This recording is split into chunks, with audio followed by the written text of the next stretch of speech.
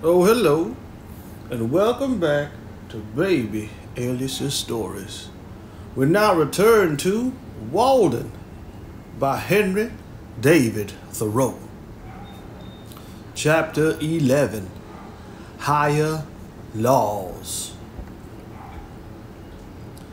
As I came home through the woods with my string of fish, trailing my pole, it being now quite dark, I caught a glimpse of a woodchuck stealing across my path, and felt a strange thrill of savage delight, and was strongly tempted to seize and devour him raw. Not that I was hungry then, except for that wilderness which he represented. Once or twice, however, while I lived at the pond, I found myself ranging the woods like a half starved hound with a strange abandonment, seeking some kind of venison which I might devour. And no morsel could have been too savage for me. The wildest scenes had become unaccountably familiar. I found in myself and still find an instinct toward a higher, or, as it is named, spiritual life, as do most men, and another toward a primitive rank and savage one. And I reverence them both. I love the wild not less than the good. The wildness and adventure that are in fishing still recommend it to me I like sometimes to take rank hold on life and spend my day more as the animals do. Perhaps I have owed to this employment and to hunting, when quite young, my closest acquaintance with nature. They early introduce us to and detain us in scenery with which otherwise at that age we should have little acquaintance fishermen, hunters, wood chippers, and others, spending their lives in the fields and woods, in a peculiar sense a part of nature themselves, are often in a more favorable mood for observing her in the intervals of their pursuits than philosophers or poets even, who approach her with expectation. She is not afraid to exhibit herself to them the traveler on the prairie is naturally a hunter, on the headwaters of the Missouri and Columbia a trapper, and at the falls of St. Mary a fisherman. He who is only a traveler learns things at second hand and by the halves, and is poor authority. We are most interested when science reports what those men already know practically or instinctively, for that alone is true humanity or account of human experience. They mistake who assert that the Yankee has few amusements because he has not so many public holidays, and men and boys do not play so many games as they do in England, for here the more primitive but solitary amusements of hunting, fishing, and the like have not yet given place to the former. Almost every New England boy among my contemporaries shouldered a fowling piece between the ages of ten and fourteen. And his hunting and fishing grounds were not limited like the preserves of an English nobleman, but were more boundless even than those of a savage. No wonder then that he did not oftener stay to play on the common, but already a change has taken place, owing not to an increased humanity, but to an increased scarcity of game. For perhaps the hunter is the greatest friend of the animals hunted, not excepting the Humane Society. Moreover, when at the pond, I wished sometimes to add fish to my fare for variety. I have actually fished from the same kind of necessity that the first fishers did. Whatever humanity I might conjure up, I might conjure up against it, was all factitious, and concerned my philosophy more than my feelings. I speak of fishing only now, for I had long felt differently about fowling, and sold my gun before I went to the woods. Not that I am less humane than others, but I did not perceive that my feelings were much affected. I did not pity the fishes nor the worms. This was habit. As for fowling, during the last years that I carried a gun, my excuse was that I was studying ornithology and sought only new or rare birds. But I confess that I am now inclined to think that there is a finer way of studying ornithology than this. It requires so much closer attention to the habits of the birds that, if for that reason only, I have been willing to omit the gun. Yet, notwithstanding the objection on the score of humanity, I am compelled to doubt if equally valuable sports are ever substituted for these. And when some of my friends have asked me anxiously about their boys, whether they should let them hunt, I have answered yes, remembering that it was one of the best parts of my education. Make them hunters, though sportsmen only at first, if possible, mighty hunters at last, so that they shall not find game large enough for them in this or any vegetable wilderness. Hunters as well as fishers of men.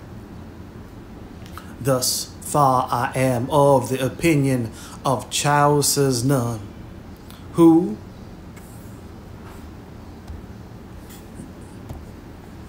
Yave not of the text a pulled hen that saith that hunters been not holy men.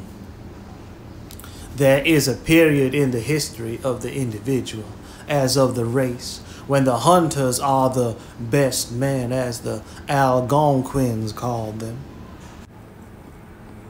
We cannot but pity the boy who has never fired a gun. He is no more humane while his education has been sadly neglected. This was my answer with respect to those youths who were bent on this pursuit, trusting that they would soon outgrow it. No humane being, past the thoughtless age of boyhood, will wantonly murder any creature which holds its life by the same tenure that he does. The hare in its extremity cries like a child. I warn you, mothers, that my sympathies do not always make the usual philanthropic distinctions. Such is the softness of the young man's, such is softness, the young man's introduction to the forest, and the most original part of himself. He goes thither at first as a hunter and fisher, until at last, if he has the seeds of a better life in him, he distinguishes his proper objects as a poet or naturalist, it may be, and leaves the gun and fish pole behind. The mass of men are still and always young in this respect. In some countries, a hunting parson is no uncommon sight. Such a one might make a good shepherd's dog, but is far from being the good shepherd. I have been surprised to consider that the only obvious employment, except wood chopping, ice cutting, or the like business, whichever to my knowledge detained at Walden Pond for a whole half day any of my fellow citizens, whether fathers or children of the town, with just one exception, was fishing. Commonly, they did not think that they were lucky or well paid for their time unless they got a long string of fish. Though they had the opportunity of seeing the pond all the while, they might go there a thousand times before the sediment of fishing would sink to the bottom and leave their purpose pure. But no doubt such a clarifying process would be going on all the while. The governor and his council faintly remember the pond, for they went a fishing there when they were boys. But now they are too old and dignified to go a fishing, and so they know it no more forever. Yet even they expect to go to heaven at last if the legislature regards it. It is chiefly to regulate the number of hooks to be used there but they know nothing about the hooks of hooks. But they know nothing about the hook of hooks with which to angle for the pond itself, impaling the legislature for a bait. Thus, even in civilized communities, the embryo man passes through the hunter stage of development. I have found repeatedly of late years that I cannot fish without failing a little in self respect. I have tried it again and again. I have skill at it, and like many of my fellows, a certain instinct for it, which revives from time to time. But always when I have done, I feel that it would have been better if I had not fished. I think that I do not mistake. It is a faint imitation, yet so are the first streaks of morning. There is unquestionably this instinct in me which belongs to the lower orders, to the lower orders of creation. Yet with every year I am less a fisherman, though without more humanity or even wisdom, at present, I am no fisherman at all. But I see that if I were to live in a wilderness, I should again be tempted to become a fisher and hunter in earnest. Beside, there is something essential, unclean about this diet and all flesh, and I began to see where housework commences, and whence the endeavor, which costs so much, to wear a tidy and respectable appearance each day to keep the house sweet and free from all ill odors and sights. Having been my own butcher and scullion and cook, as well as the gentleman for whom the dishes were served up, I can speak from an unusually complete experience. The practical objection to animal food in my case was its uncleanness. And besides, when I had caught and cleaned and cooked and eaten my fish, they seemed not to have fed me essentially. It was insignificant and unnecessary, and cost more than it came to. A little bread or a few potatoes would have done as well with less trouble and filth. Like many of my contemporaries, I had rarely, for many years, used animal food or tea or coffee, etc. Not so much because of any ill effects which I had traced to them, as because they were not agreeable to my imagination.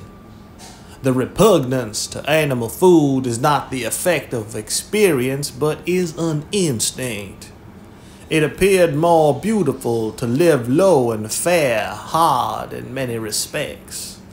It appeared more beautiful to live low and fare hard in many respects. And though I never did so, I went far enough to please my imagination.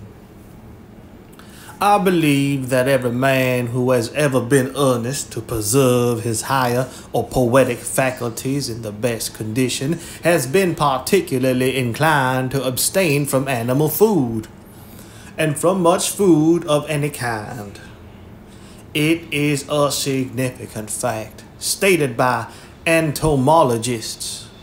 I find it in Kirby and Spence that some insects, in their perfect state, though furnished with organs of feeding, make no use of them.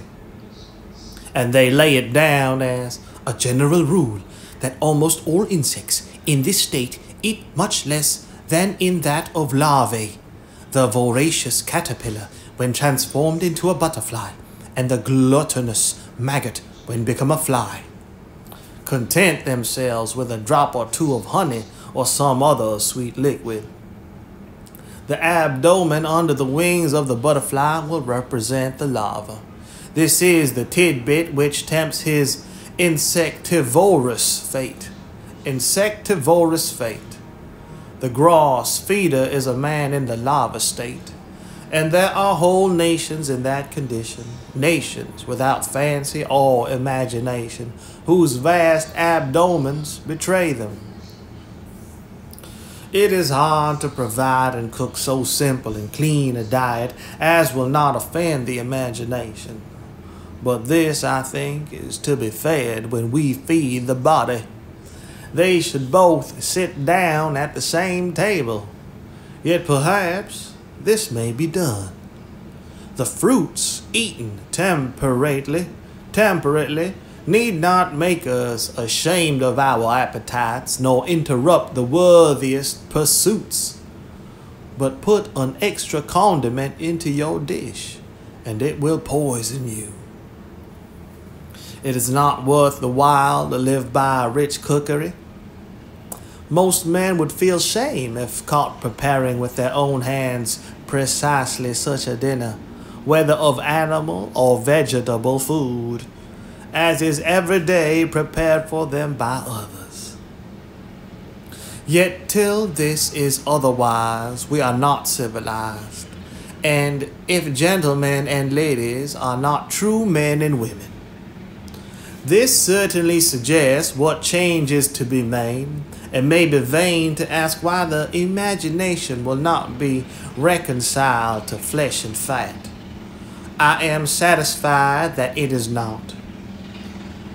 Is it not a reproach that man is a carnivorous animal? True, he can and does live in a great measure by preying on other animals, but this is a miserable way, as anyone who will go to snaring rabbits or slaughtering lambs may learn, and he will be regarded as a benefactor of his race, who shall teach man to confine himself to a more innocent and wholesome diet. Whatever my own practice may be, I have no doubt that it is a part of the destiny of the human race and its gradual improvement to leave off eating animals, as surely as the savage tribes have left off eating each other when they came in contact with the more civilized. If one listens to the faintest but constant suggestions of his genius, which are certainly true, he sees not what he sees not to what extremes, or even insanity. It may lead him, and yet that way, as he grows more resolute and faithful, his road lies. The faintest assured objection which one healthy man feels will at length prevail over the arguments and customs of mankind. No man ever followed his genius till it misled him. Though the result were bodily weakness, yet perhaps no one can say that the consequences were to be regretted, for these were a life in conformity to higher principles. If the day and the night are such that you greet them with joy, and life emits a fragrance like flowers and sweet scented herbs, is more elastic, more starry, more immortal, that is your success. All nature is your congratulation. and you have cause momentarily to bless yourself. The greatest gains and values are furthest from being appreciated. We easily come to doubt if they exist. We soon forget them. They are the highest reality. Perhaps the facts, the facts most astounding and most real are never communicated by man to man. The true harvest of my daily life is somewhat as intangible and indescribable as the tints of morning or evening. It is a little stardust caught, a segment of the rainbow which I have clutched. Yet for my part, I was never unusually squeamish. I could sometimes eat a fried rat with a good relish, if it were necessary. I am glad to have drunk water so long, for the same reason that I prefer the natural sky to an opium eater's heaven. I would fain keep sober always, and there are infinite degrees of drunkenness. I believe that water is the only drink for a wise man. Wine is not so noble a liquor, and think of dashing the hopes of a morning with a cup of warm coffee or of an evening with a dash of tea. Ah, how low I fall when I am tempted by them. Even music may be intoxicating. Such apparently slight causes destroyed Greece and Rome and will destroy England and America. Of all ebriosity, who does not prefer to be intoxicated by the air he breathes, I have found it to be the most serious objection to coarse labors long continued, that they compelled me to eat and drink coarsely also. But to tell the truth, I find myself at present somewhat less particular in these respects. I carry less religion to the table, ask no blessing, not because I am wiser than I was, but I am obliged to confess, because however much it is to be regretted, with years I have grown more coarse and indifferent. Perhaps these questions are entertained only in youth, as most believe of poetry. My practice is nowhere, my opinion is here. Nevertheless, I am far from regarding myself as one of those privileged ones to whom the Ved refers when it says that he who has true faith in the omnipresent Supreme Being may eat all that exists. That is, not bound to inquire what is his food or who prepares it. And even in that case, it is to be observed as a Hindu commentator has remarked that the Vedant, that the Vedant, that the Vedant limits Vedant. Vedant, that the Vedant limits this privilege to the time of distress. Who has not sometimes derived an inexpressible satisfaction from his food in which appetite had no share? I have been thrilled to think that I owed a mental perception to the commonly gross sense of taste, that I have been inspired through the palate, that some berries which I had eaten on a hillside had fed my genius. The soul not being mistress of herself, says Thseng-tseu. One looks and one does not see. One listens and one does not hear. One eats and one does not know the savor of food. He who distinguishes the true savor of his food can never be a glutton. He who does not cannot be otherwise. A Puritan may go to his brown bread crust with a gross, an appetite as ever, an alderman to his turtle. Not that food which entether, not that food which entereth, entereth, not that food which entereth into the mouth defileth a man, but the appetite with which it is eaten. It is neither the quality nor the quantity, but the devotion to sensual savors, when that which is eaten is not a viand to sustain our animal or inspire our spiritual life, but food for the worms that possess us. If the hunter has a taste for mud turtles, muskrats, and other such savage tidbits, the fine lady indulges a taste for jelly made of a calf's foot, or for sardines from over the sea, and they are even. He goes to the milk pond, she to her preserve pot.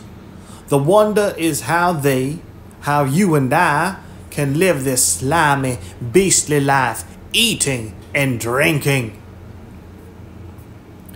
Our whole life is startling moral. There is never an instant's truce between virtue and vice.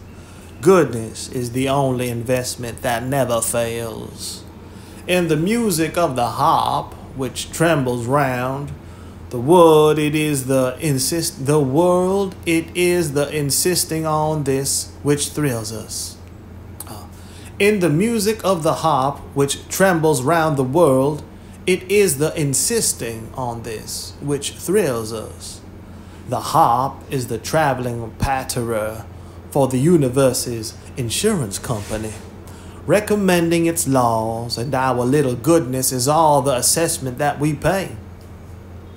Though the youth at last grows indifferent, the laws of the universe are not indifferent, but are forever on the side of the most sensitive. Listen to every zephyr for some reproof, for it is surely there, and he is unfortunate who does not hear it. We cannot touch a string or move a stop, but the charming moral transfixes us. Many a irksome noise go a long way off. It is heard as music, a proud, sweet satire on the meanness of our lives.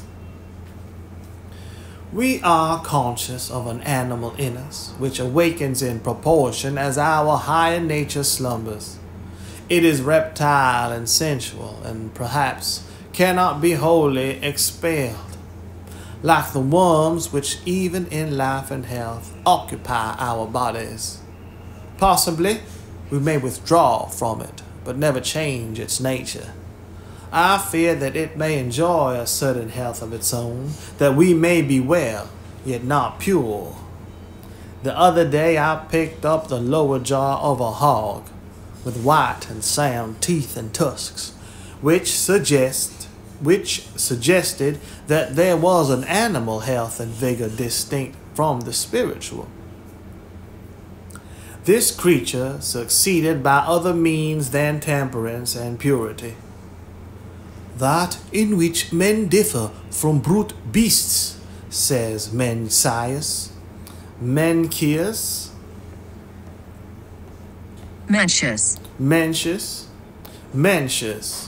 Chinese philosopher, Latinized name of Meng Tzu or Meng Zi, Meng the Master known as a developer of Confucianism. He believed that rulers should provide for the welfare of the people and that human nature is intrinsically good. This creature succeeded by other means than temperance and purity.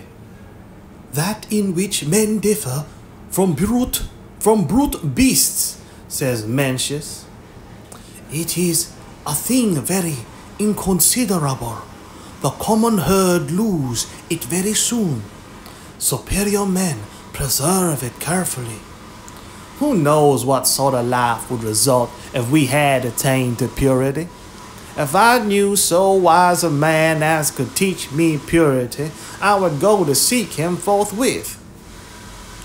A command over our passions and over the external senses of the body in good acts are declared by the Ved to be indispensable in the mind's approximation to God.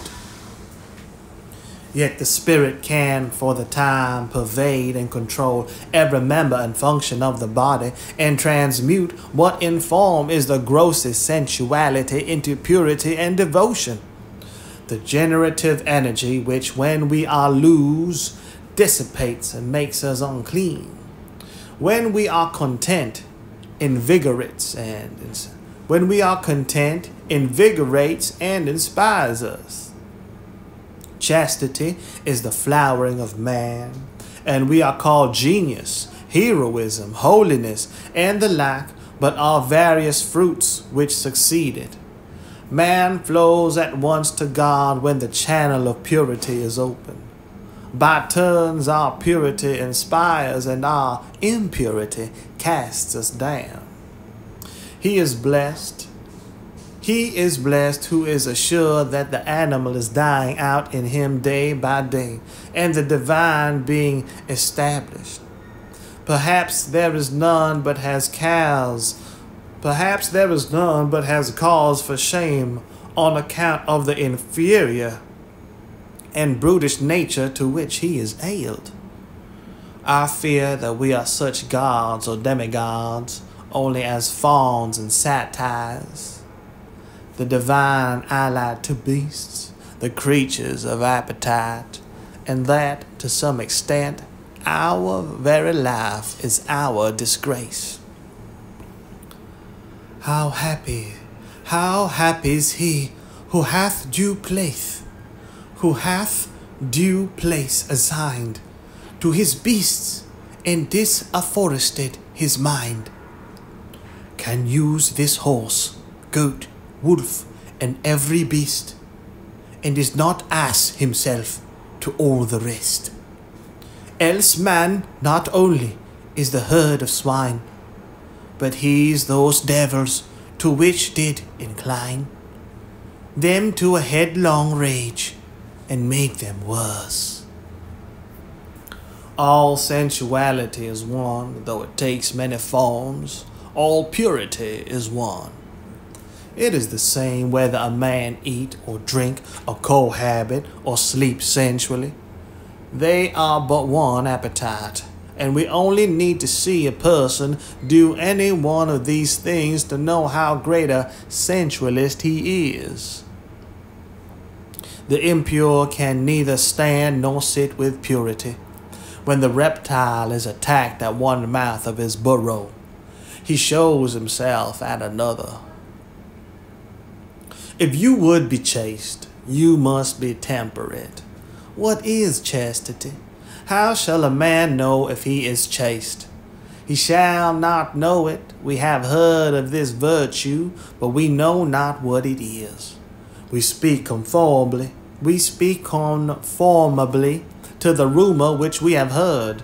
From exertion come wisdom and purity, from sloth, ignorance, and sensuality in the student, sensuality is a sluggish habit of mind. An unclean person in universally an unclean person is universally a slothful one, one who sits by a stove, whom the sun shines on prostrate, who reposes without being fatigued. If you would avoid clean, if you would avoid uncleanness and all the sins, work earnestly, though it be at cleaning a stable. Nature is hard to be overcome, but she must be overcome. What ails it that you are Christian if you are not purer than the heathen? If you deny yourself no more, if you are not most religious? I know of many systems of religion esteemed heathenish, whose precepts fill the readers with shame and provoke him to new endeavors, though it, though it be to the performance of rites merely. I hesitate to say these things, but it is not because of the subject. I care not how obscene my words are, but because I cannot speak of them without betraying my impurity. We discourse freely without shame of one form of sensuality, and are silent about another. We are so degraded that we cannot speak simply of the necessary functions of human nature. In earlier ages in some countries, every function was reverently spoken of and regulated by law. Nothing was too trivial for the Hindu lawgiver, however offensive it may be to modern taste. However offensive it may be to modern taste. He teaches how to eat, drink, cohabit, void, excrement, and urine, and the like, elevating what is mean, and does not falsely excuse himself by calling these things trifles. Every man is the builder of a temple, called his body to the God he worships, after a style purely his own, nor can he get off by hammering marble instead. We are all sculptors and painters, and our material is our own flesh and blood and bones. Any nobleness begins at once to refine a man's features, any meanness or sensuality to imbrute them. John Farmer sat at his door one September evening after a hard day's work, his mind still running on his labor more or less Having bathed, he sat down to recreate his intellectual man. It was a rather cool evening, and some of his neighbors were apprehending a frost. He had not attended to the train of his thoughts long when he heard someone playing on a flute, and that sound harmonized with his mood. Still, he thought of his work but the burden of his thought was that he, that though this kept running in his head, and he found himself planning and contriving it against his will, yet it concerned him very little. It was no more than the scruff of his skin, which was constantly shuffled off, but the notes of the flute came home to his ears out of a different sphere from that he worked in and suggested work for certain faculties which slumbered in him. They gently did away with the street and the village and the state in which he lived. A voice said to him, Why do you stay here and live this mean, moiling life when a glorious existence is possible for you? Those same stars twinkle over other fields than these but how to come out of this condition and actually migrate thither. All that he could think of was to practice some new austerity, to let his mind descend into his body and redeem it, and treat himself with ever increasing respect.